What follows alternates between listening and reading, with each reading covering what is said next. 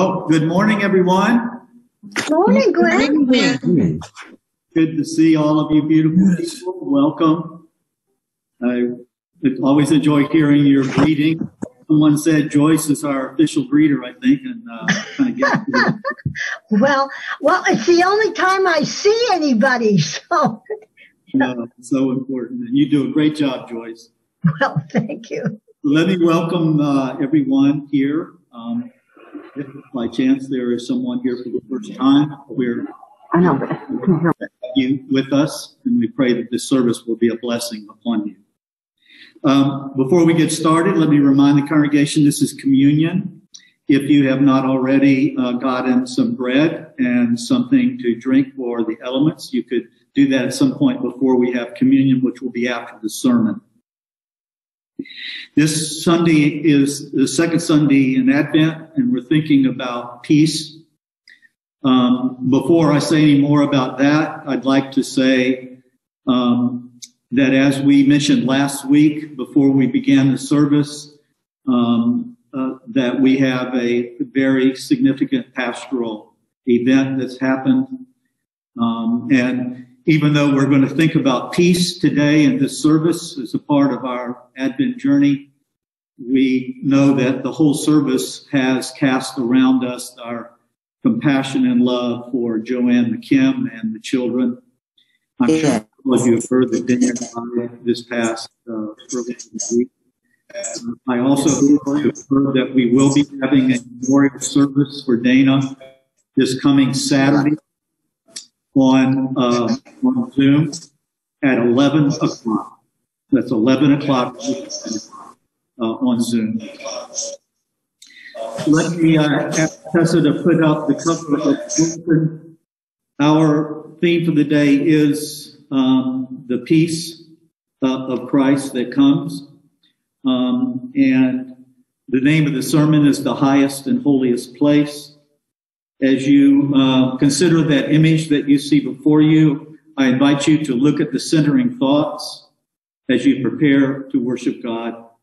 And Nancy Wucherpfennig will lead us in some centering music. Let us worship God.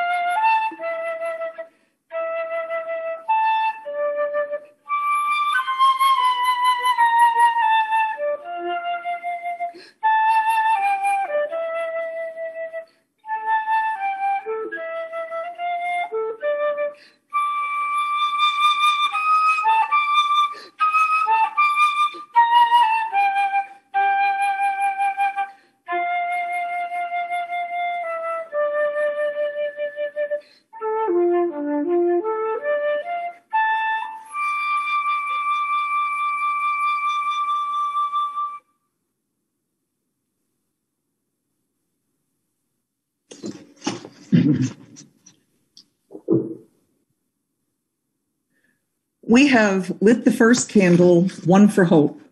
Today we light the second candle, the candle of peace.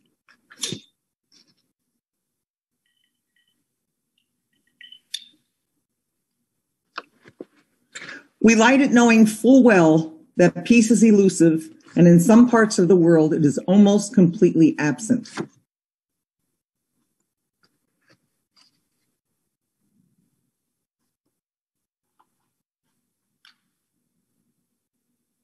Yet in this season of Advent, we trust that God is never absent from us.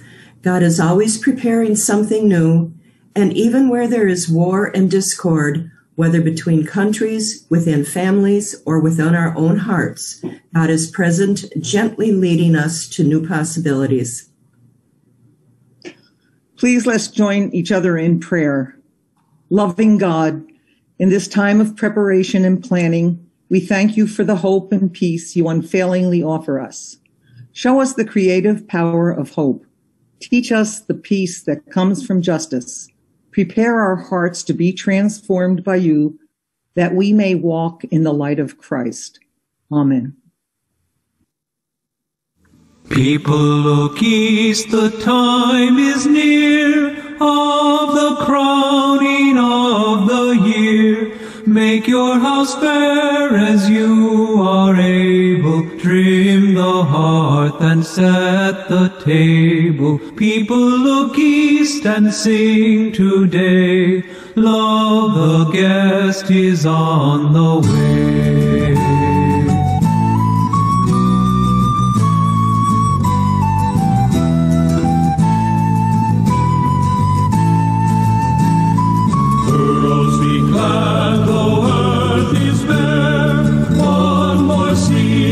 deep and tender. Give of your strength the seed to nourish, that in time the flower may flourish. People who of Kingston sings today, love the roses of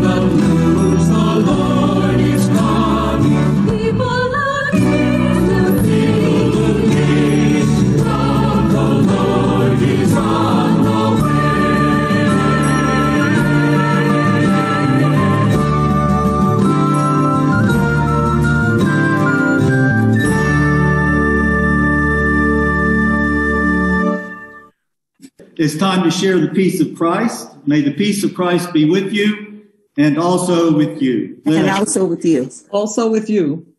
All right.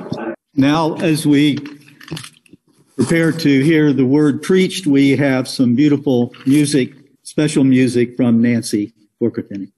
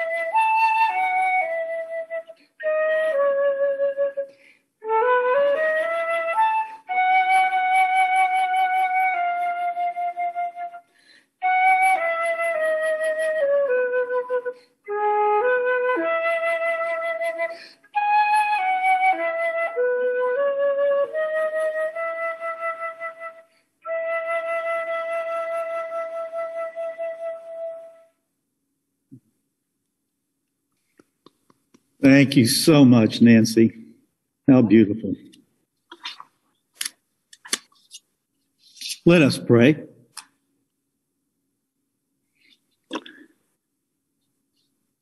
Gracious God, we come to you today in this service to receive the gifts of this music, to sing together, to commune together with the Lord's Supper. We bring with us all of ourselves, all that causes us excitement and joy, and all that causes us to be weighed down and heartbroken. We cannot sort that out, but we trust that being together and hearing your word, listening to your music will patch our hearts, give us strength, and make us fit to follow you in service. So bless us now as we seek to engage with your word. We pray in Christ's name. Amen. Well, that was sort of a long prayer of illumination, wasn't it? You know, the Christmas event is not simple. As a matter of fact, it is very complex. And in Advent, as we approach this epic anniversary, we do well to open ourselves to as much of the depth and breadth of the meaning of Christmas as we can, as we can. Last week, for instance, we tried to open ourselves to a very personal meaning of Advent that we, all of us, are called to be Jesus in this hurting world. And today we'll turn to another dimension of the meaning of Christmas, but it is much broader. It is much more cosmic in scope. One of the great experiences of my life was a wilderness backpacking trip that I took with my daughter Erin oh, about a decade ago. It was in the Roosevelt National Forest in the Rocky Mountains, near Rocky Mountain National Park. And on that trek, I reached the highest elevation that I have yet achieved in my life, 11,700 feet. But from that place, stretched out before me and above me, were peaks higher still some of the famed 14ers of Colorado, mountains that are 14,000 feet or taller. The picture that Tessa showed you on the front of the bulletin was the highest 14, 14er in Colorado. It is reported, and maybe some of you can attest to this, that almost every climber who summits a mountain experiences something spiritual and holy. What is it about mountains and wanting to go to the highest place, risking life and limb? Perhaps we yearn for it in hopes that it might be that there we will come to some sort of final answer, some sort of ultimate source of being. Our scripture is from the prophecy of the book of Isaiah. Listen as he reflects on this phenomenon.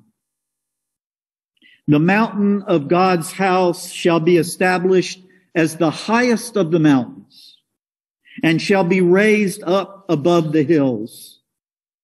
All the nations, all the nations shall stream to it. Many people shall come and say, Come, let us go up to the mountain of God, to the house of the God of Jacob, that God may teach us God's ways and that we may walk in God's paths.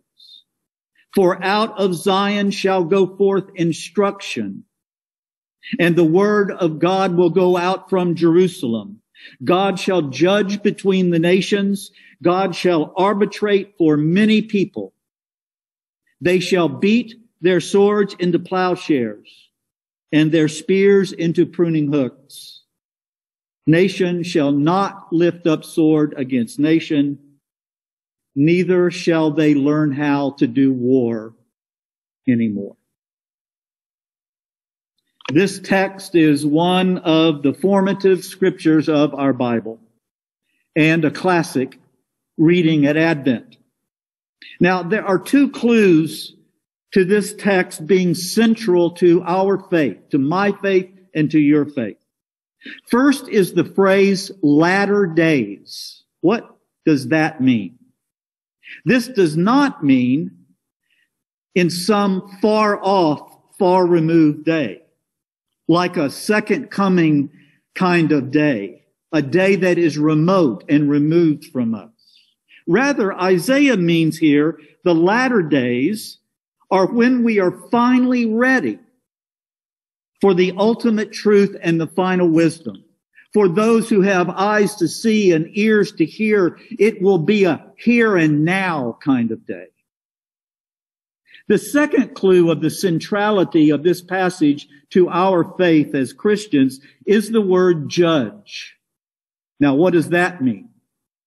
First, here's what it doesn't mean.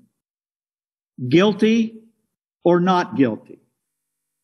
This is a meaning that we in our time have laid upon this passage.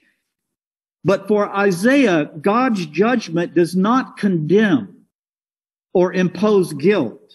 Rather, he means by judge that God sets us on the right path. God sees us, we're teetering, we're ready to fall, and she reaches out her hand to steady us. It's like God is saying, here, this is what I mean, and not that. That's what Isaiah means by judging. We progressives understand this as universal, encompassing, encompassing not just Israel, but expanding to Christians, expanding to everyone, all the nations, Jews and Hindus and Muslims, all the nations of the world flow to the holy mountain. And for all of us in our own faith traditions, our own languages and rituals, what we hear is the final word it is the ultimate word. Here God says, this is what I mean and intend for human existence. Nations shall not lift up their swords against other nations. Neither shall they learn how to make war. But they shall beat their spears into a tool to prune the small fruit trees and their swords into a cutting edge of a plow to raise food. The creator, Yahweh, Allah, the source, whatever your name is for God, calls humanity to the highest place to dispense to us the holiest word. And God says in that moment, no more war. Rather, grow food. Wow. This is not exactly the way that our world sees it, is it? Evidence is everywhere. Violent video games. You know probably that they're a top seller at Christmas time. In them, our young are given instruction manuals in how to kill and maim other human beings. That is a pretty good mirror of the world's truth. The world's truth is that doing violence is the answer. Or it is a fact that fundamentalists of just about every religion see apocalyptic wars as caused, as sanctioned by God. And governments like ours, influenced by religious inclinations seem to fall under the hypnotic spell of the glittering, shiny new toys of war, much like a video game.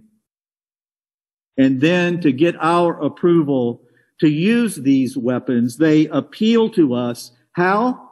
They always want to talk to us about being realistic. Look, be realistic. That is to say, they say it's a violent world. You must kill or be killed. Appealing to the realism this way is another word for the status quo, the way things are. And friends, as you may have noticed, this is a winning political strategy. And the reason it is so effective is because it plays to our fears. And we, bless our hearts, human creatures are so subject to being afraid. And in our scriptures, also, there are other passages in the Old Testament that seem to bless war. I realize that. But friends, just as the core of the teaching of Jesus is love and inclusion, that everyone is included and involved, just as that teaching by Jesus is a higher authority than Leviticus, where Leviticus teaches that we are to exclude GLBTQ people, just in that way, this passage of Isaiah is ultimate truth. It is ascendant over other parts of our scripture. In the latter days is what Isaiah is saying when it's time for God to set us right on the highest mountain, which is the place we go to be closest to God. This is an ultimate word in Isaiah. And then to put an exclamation point on it, God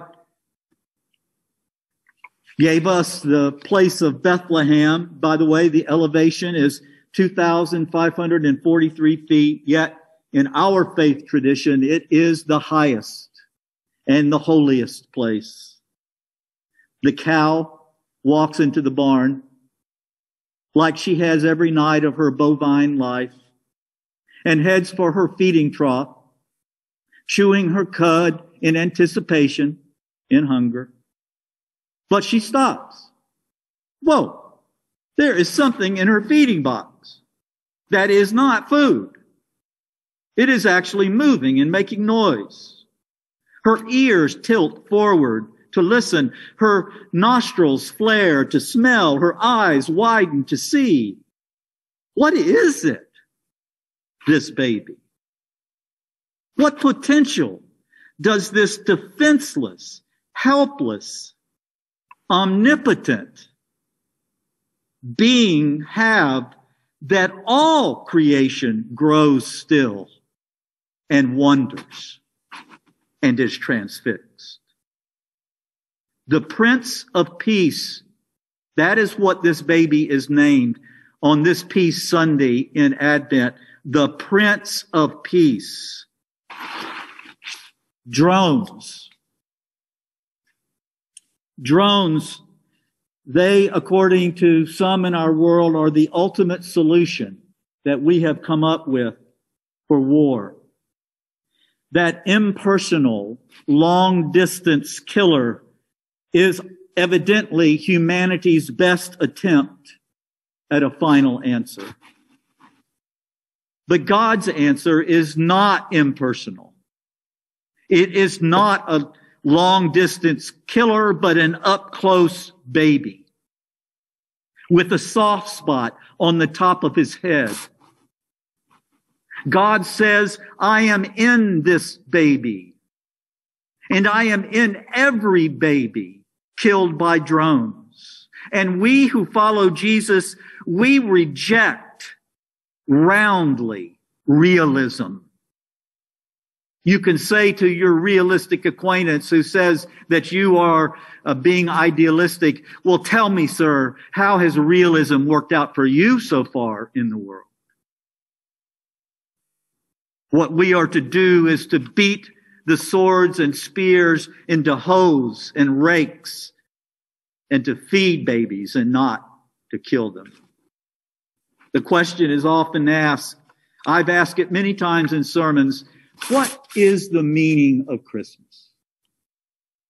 It is, friends, the claim that the creator of the universe looks back at us through unfocused eyes of a newborn. And while there is more than one answer as to what Christmas means, the central, core, vital, prime answer is this. Stop killing babies and feed babies, feed all the babies. I was looking online and was interested to read some about the open door. Maybe some of you know that Chris Albright, who is one of our new elders, works at the open door. Let me just read to you something. The Open Door is a hunger relief organization dedicated to ending local hunger through healthy food.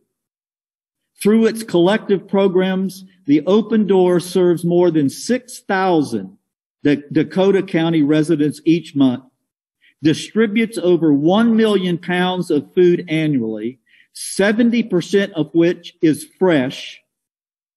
Clients are able to access healthy food choices through a fixed site food pantry in Eagan, multiple mobile pantry sites, the mobile lunchbox, and the garden to table program. Scripture says, come to the highest mountain, to the holiest place, and in the latter days hear this truth. Every child is a peace child. Every child is meant to be fed. Who would have thought that the open door was the highest and the holiest place? For this is the way God comes into the world, not the prince of the military industrial complex, but the prince of peace. Amen. See it now.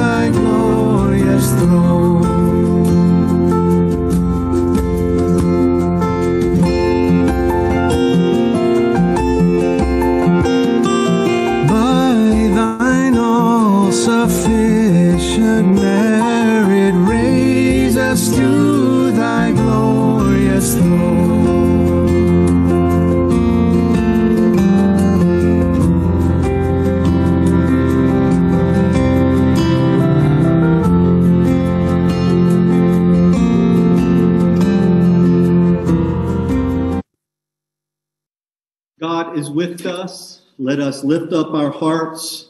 We lift them to God. Let us give God our thanks and praise. Alleluia. Let us pray. Blessed are you, God of all. From the very beginning, from before there was even a beginning, you were.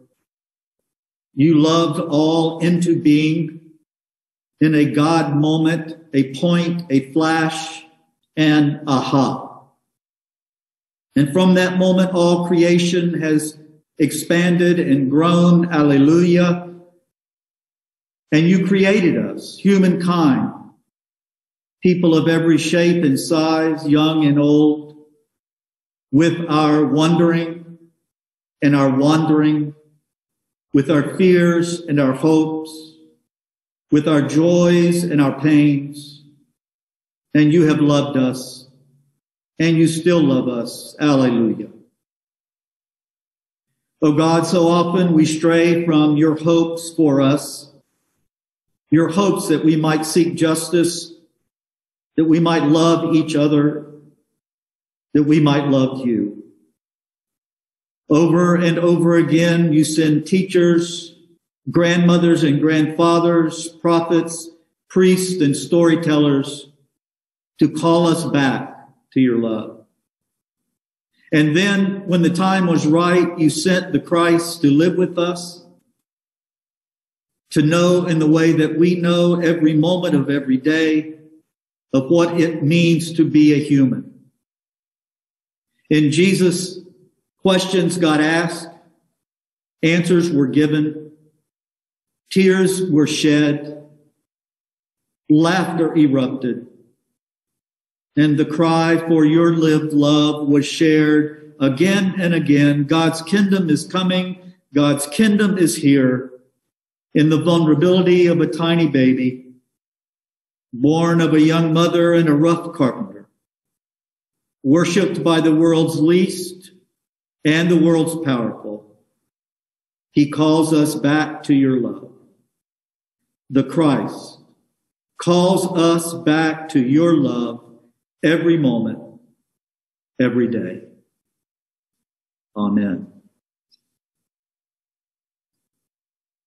On the night that Jesus was betrayed, he was eating with his friends and he took bread and after giving thanks to God for it, he broke it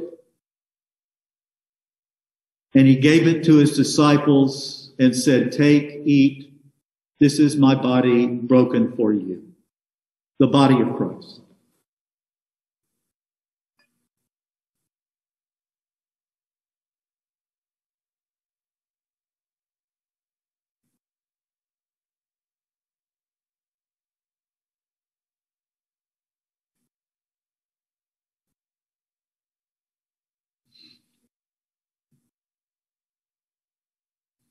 In the same way, after supper, Jesus took the cup and said, This cup is the new covenant, to shed in my blood. All of you drink of it. For as often as you eat this bread and drink this cup, we proclaim the coming of the Lord Jesus. You may now take the cup.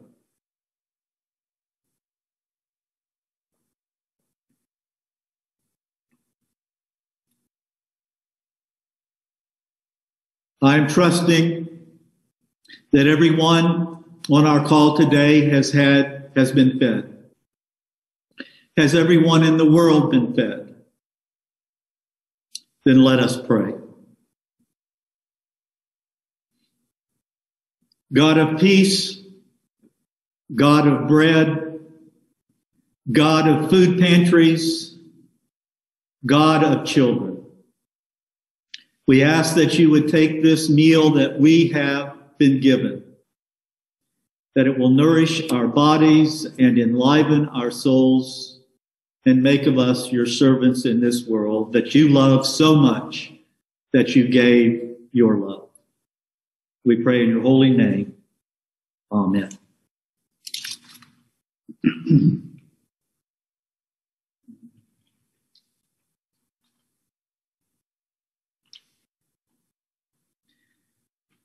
Friends, we come now to our joys and concerns. Let us uh, conclude our prayer time uh, by reciting in unison the Lord's Prayer as it, you find it now on your screen. Let us pray together. Ground of all being, mother of life, father of the universe, your name is sacred beyond speaking. May we know your presence. May your longings be our longings in heart and in action. Today, may there be food for the human family and for the whole earth community. Forgive us the falseness of what we have done as we forgive those who are untrue to us. Do not forsake us in our time of conflict, but lead us into new beginnings. For the light of life, the vitality of life, and the glory of life are yours now and forever. Amen. And thanking the congregation for your responses to our stewardship campaign. As we keep that in mind, let us join together in a prayer asking God's blessing on our gifts. Let us pray. O God, with joy and thanksgiving, we celebrate this opportunity to share.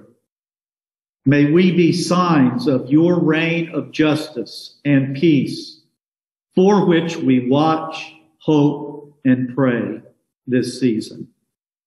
Amen. And do any of you dear people have announcements? Okay, I think it's time for our uh, uh, benediction. So let me offer that for you. May God bless you and keep you. May God's face shine upon you and be gracious unto you. May God's countenance be lifted up upon you and grant you peace both this day and all of our days together. And let all God's people say, Amen.